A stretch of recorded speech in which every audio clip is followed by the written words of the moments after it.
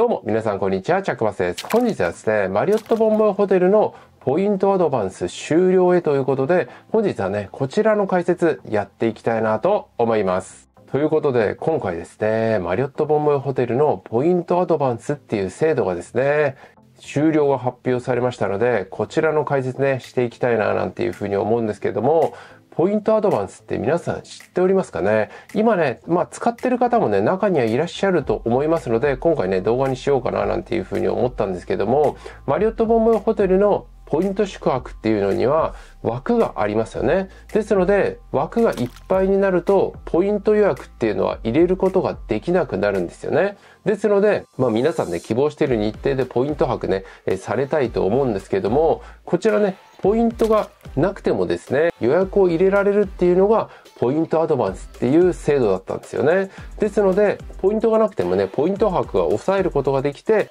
期日までにですね、ポイントを購入したりですね、獲得したりね、まあそういったことで、ポイントを用意すればですね、その仮押さえのところが、まあ本予約できるみたいなね、まあこういった制度があったんですけども、こちらがですね、終了が発表されてしまいました。ちょっとね、残念ですよね。まあこのね、ポイントアドバンスっていうのは、まあもともとですね、すごい先までね、予約できたんですよ。もう2年、3年ぐらい、2年前ぐらいか。なると思うんですけども、本当に先の予約までできて、そのポイントがなくてもね、まあポイント泊の枠をね、抑えることができて、まあ非常に便利だったわけなんですけども、まあこれがですね、2021年の5月にね、一回変更になったんですよね。まあそれまでは、このポイントアドバンスっていうのは、いくらでもね、予約が取れて、またね、2週間前だったかな、ポイントをね、用意することができれば、まあその予約がですね、そのまま本予約でね、確定することができるっていう風になってたわけなんですけども、まあ、2021年の5月に、こちらね、あまりにもね、この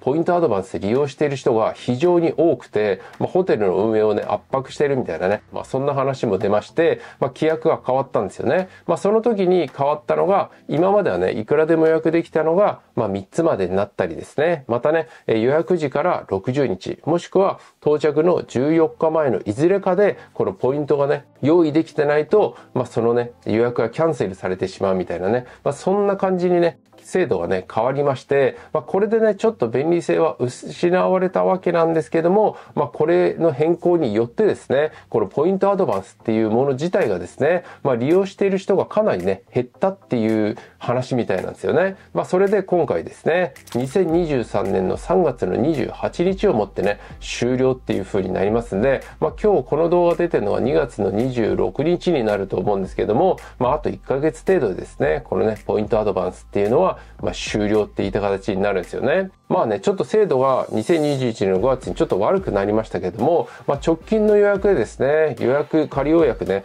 しといて、まあ、ポイントを用意して、予約をね、いこ、生かすみたいなね。まあそういった感じでね、利用されてた方ね、一部いらっしゃったと思うんですけども、まあ利用する人少なかったんですかね。まあこれが理由で終了っていう風になりますので、まあマリオットボンボイホテルね、マリオットアメックスプレミアムカードとかね、マリオットカードをね、使ってると、ある程度ね、影響あるかななんていうふうに思いますので、この点はね、あの、覚えておいていただければなと思います。で、今後ですね、このポイントアドバンスっていうのは、もうね、利用することができなくなるっていうふうになりますんで、まあ、今後はですね、どうなるのかっていうと、ポイントアドバンスが利用できなくなるだけっていうふうになりますんで、まあ、ポイントがね、なければ、まあ、ポイントを購入して、利用していただくか、もしくは、現金とポイントの組み合わせ合わせてね、あの、利用することができますよね。まあ、こちらをね、利用してくださいみたいなね、まあ、そういった感じでね、公式サイトに記載がありますので、まあ、こういった感じになってしまうんですよね。いや、個人的にはですね、結構ね、便利な制度だったんで、まあ、なくなっては欲しくないな、なんていうふうに思ってたんですけども、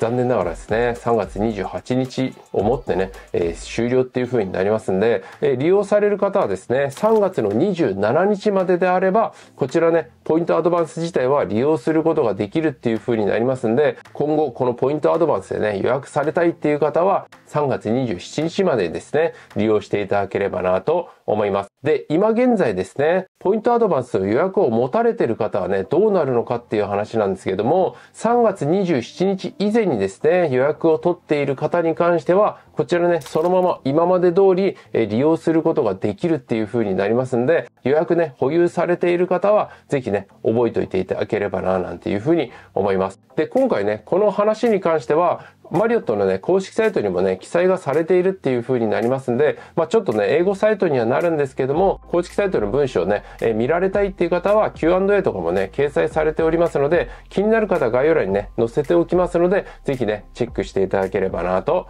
思います。ということで今回ですね、マリオットボムホテルがポイントアドバンス終了へということで動画ね、出させていただいたわけなんですけども、いやーちょっとね、残念ですね。利用されてた方はね、一部はいらっしゃったと思うんですけども、利用する人少なかったのかな？本当にこの理由なのかどうなのかちょっとわかんないですけども、一応ね、こういった理由で終了っていう風になりますんで、この点はね、覚えておいていただければなと思います。で、ちょっとね、話は変わるんですけども、私の動画のね、コミュニティ欄では発信させていただいたんですけども、ヒルトンホテルの宮古島、こちらですね、え、6月の末にですね、オープンするっていう情報はもうね、あの、持ってたわけなんですけども、正式な日付がね、決まりまして、え、予約はね、もう開始しております。ですので、ヒルトンのアプリからですね、もうね、あの、ヒルトン宮古島予約することができるっていう風になりますんで、ぜひね、気になる方、利用ね、していただければなと思います。スタンダードルーム特典がね、だいたい8万ポイントから利用することができるっていう風になりますんで、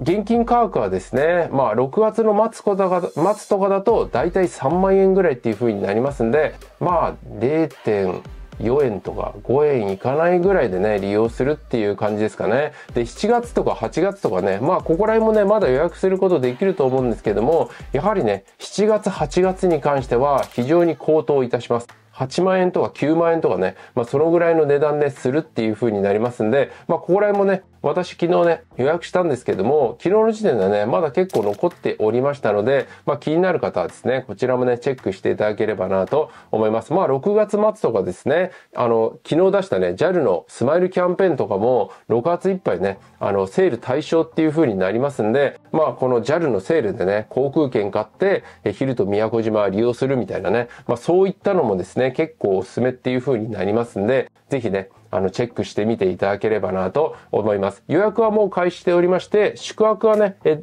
予約ができるのが、6月の18日からっていう風になりますんで、ぜひね、チェックしていただければなと思います。このヒルトン宮古島ね、ちょっと楽しみですよね。おそらくヒルトンホテルのブランドっていう風になりますんで、エグゼクティブクラブラウンジとかもね、併設されると思いますし、またね、宮古島っていう風になりますんでね、海とかもね、結構楽しめるんじゃないかななんていう風に思いますし、公式サイトね、もう写真とか出てるんですけども、プールとかもね、結構ありそうなので非常に楽しみですね。ぜひね、ヒルと宮古島楽しみにされてた方はぜひね、チェックしていただければなと思います。ということで今回の動画はね、こんな感じで終わりたいなと思います。この動画が役に立った方は、いいね、チャンネル登録ぜひお願いいたします。私ブログ、ツイッターやってますので、フォローチェックしてあげるととても嬉しいです。それではまた次の動画でお会いいたしましょう。バイバイ